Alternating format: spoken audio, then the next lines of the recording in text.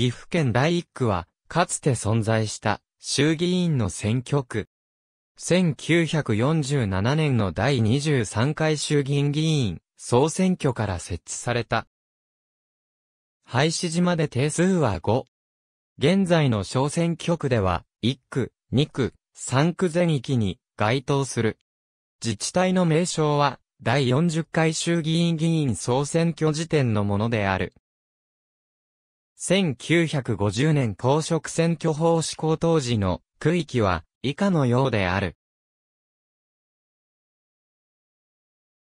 第40回衆議院議員総選挙7月18日執行、当日有権者数97万5082人、投票率72.45%第39回衆議院議員総選挙2月18日執行、当日有権者数92万8938人、投票率77.86%第38回衆議院議員、総選挙7月6日、執行当日有権者数88万9028人、投票率77.34%第37回衆議院議員、総選挙12月18日執行当日、有権者数86万6142人、投票率74.16%第36回衆議院議員、総選挙6月22日執行当日有権者数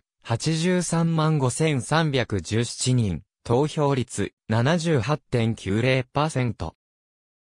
第35回衆議院議員総選挙10月7日、執行当日有権者数82万6410人、投票率76.55%第34回衆議院。議員、総選挙12月5日、執行当日有権者数。79万8668人、投票率。78.77%第33回衆議院議員、総選挙12月。10日執行当日有権者数。75万4374人、投票率79.35%第32回衆議院議員、総選挙12月27日執行当日、有権者数70万8910人、投票率76.35%第31回衆議院議員、総選挙1月29日執行当日有権者数639。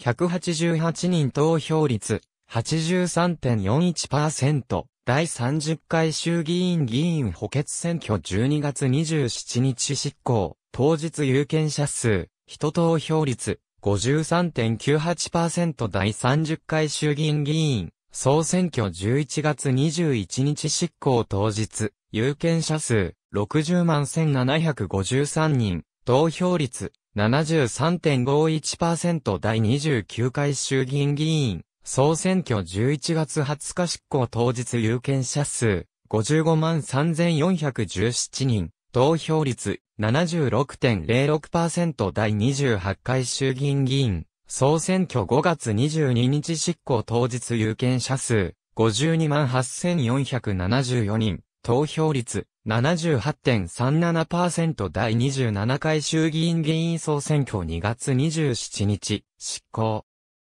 当日有権者数、50万8284人、投票率、76.27%第26回衆議院議員総選挙4月19日執行。当日有権者数、49万5847人、投票率70.16%第25回衆議院議員、総選挙10月1日執行当日有権者数50万5983人、投票率73.47%第24回衆議院議員、総選挙1月23日執行当日、有権者数45万1768人、投票率76.77%第23回衆議院議員総選挙4月25日執行、当日有権者数45万1302人、投票率65.84%。ありがとうございます。